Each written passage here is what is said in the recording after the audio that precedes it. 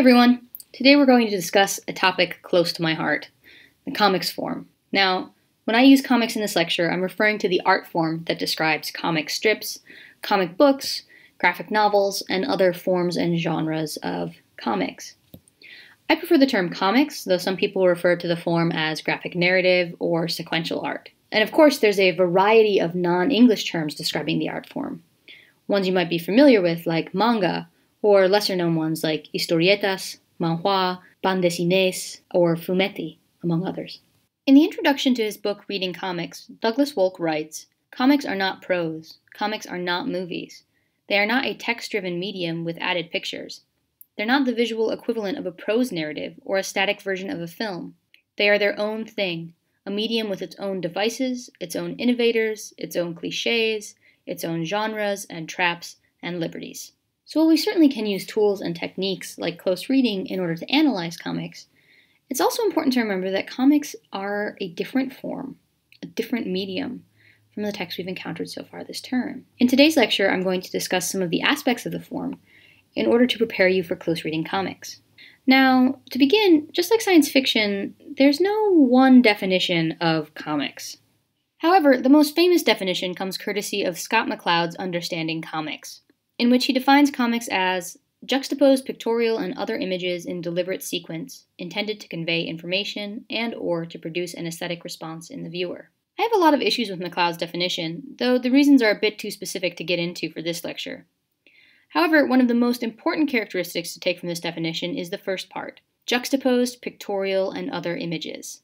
So, what sets comics apart from literature or visual art is that it draws on both verbal and visual signification at the same time. While plenty of people tend to think of comics as kid stuff, as a matter of fact, it makes you work twice as hard as just interpreting a text or a visual painting. You might say that you have to work three times as hard. Not only must you close read the text on its own merit and interpret the art on its own merit, you must also think about the way the text and the art interact with each other the messages might complement each other, or contradict each other, or even complicate each other.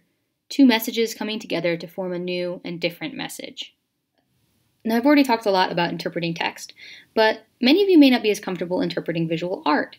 So I'd like to take some time by discussing the components of visual art. Images create meanings in a variety of ways. This is called visual rhetoric. Visual rhetoric can be boiled down to six characteristics, starting with size. The relative size of objects is an important way artists draw our eyes to certain details. We tend to pay more attention to big objects. That doesn't mean the small details are any less important. We also associate certain sensations with big and small. Big is loud, while small is quiet, for example. This page is from the clamp manga Clover. Notice the way you look at the large black wing first, even though there's a tiny inset image in the top of the page. Because the panel of the foot touching down is very small compared to the rest of the page, it seems more quiet, almost gentle, and easy to overlook. After size comes color. Colors produce really visceral responses in us. We associate emotions very strongly with certain colors blue and sadness, yellow and happiness, red and anger. Artists can use these associations with emotions and concepts to trigger certain responses in their audience. Take, for example, this page from Alan Moore and Brian Bolland's The Killing Joke. Even though it is a serious comic, the Madhouse color scheme creates a sense of insanity and chaos. If you're not convinced that color can affect your response to an image, check out this recent recoloring of The Killing Joke. The color palette uses less saturated colors and warmer tones than the original. It looks more realistic and serious, but it loses all of the carnivalesque feeling of the original. After color is line. Are the lines an artist uses scratchy or smooth? Are they straight or wobbly? Is the weight or thickness of the line even, or does it become heavier and lighter? Are the lines legible or messy? These can really affect the look of a piece of art. For example, the Belgian artist Hergé pioneered a style called ligne claire, in which he drew all of his lines with the same thickness. The result is a very easy to read page and a somewhat cartoony look. After line is texture. Because most visual art is two dimensional, artists have to use tricks to give their art a sense of texture. If a drawing looks rough or smooth, bumpy or flat, soft or hard, an artist has successfully manipulated the component of texture. Next is value. Now, value refers to the relative darkness and lightness of color. Another word you might use is shading. When an artist manipulates value, they create a sense of depth. These diagrams demonstrate the ways artists can use value to create certain effects. The final component is composition. Composition refers to the way objects and elements in a picture are arranged on the page, canvas, or surface. Artists use composition to direct a viewer's eyes across the page in certain ways. Let's return to that earlier page from Clover. When we discussed size, I mentioned that we tend to see the black wing first because it is much bigger than anything else on the page. Its value is also much deeper than the white on the rest of the page. This composition, however, is also very effective at drawing our eyes. We look at the black wings first, and because the feathers slowly point upwards, our eyes are drawn up to the smaller inset panel. Then, the negative space between the wings at the bottom of the panel is almost an arrow pulling our attention down. Finally, the swoop of the white wings pulls our eyes down to the girl in the center.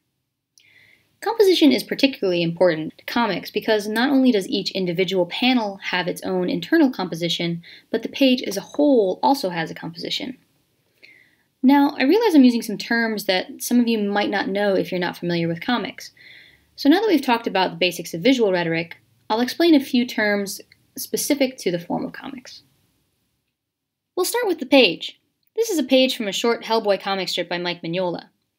The page might seem obvious, but it's an important part of the comic that often gets overlooked. As I mentioned earlier, each page has its own composition, just as each panel has its own composition.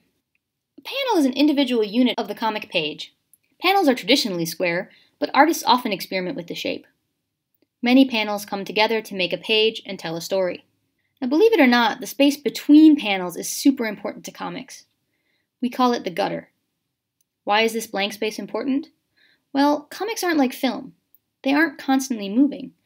As a result, we have to fill in the blanks as to what happens between panels. The gutter is our space for interpretation. And Scott McCloud calls this procedure closure. Without our brains filling in the blanks between panels, a comics page is just a strange collection of images next to each other on a page. Sometimes what happens between panels is really obvious, like when two people are having a conversation. But sometimes there's a lot left up to the reader. McCloud uses this example. What happened between these panels? Did the man with the axe kill the other man? Or did the other manage to avoid the axe but still scream from fear? Or is the scream someone else's? Maybe someone's watching a horror movie and no one's actually dying. What happens in that space is entirely up to you, though you will likely use context from the nearby panels to develop a reasonable interpretation. Back to our comics terms. Some of you probably know, but it's worth making sure we're all on the same page. We refer to these as speech balloons or word balloons, sometimes as word or speech bubble. This example is the standard shape, though sometimes artists play with the shape of the bubble to indicate if a person is yelling or crying, for example. While word balloons show what a character is saying or thinking, captions are slightly different. They're usually, but not always, rectangular as opposed to rounded. Captions are descriptions and information not said by the character. Oftentimes, captions are the voice of the narrator. Finally, sound effects. Sound effects take a lot of different shapes, but are always language indicating some sort of non speech sound. You know, bang and pow. In this case, oop. Now, there's obviously a whole lot more that can be said about comics and visual rhetoric, but I have a feeling some of you are probably already a little overwhelmed. Just like close reading a text, reading comics and interpreting visual art takes practice. Don't be discouraged if you don't get it right away. Now, the first comics text we'll be reading is a short story by Japanese artist Moto Hagio. Manga, or Japanese comics, are read in a different direction than Western comics, from right to left instead of from left to right. Be sure to read the note at the top of the PDF. See you next time.